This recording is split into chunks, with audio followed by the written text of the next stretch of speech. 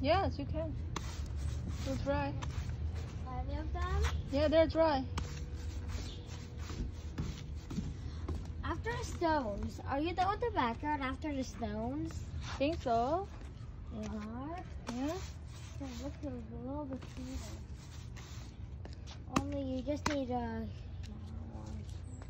That's a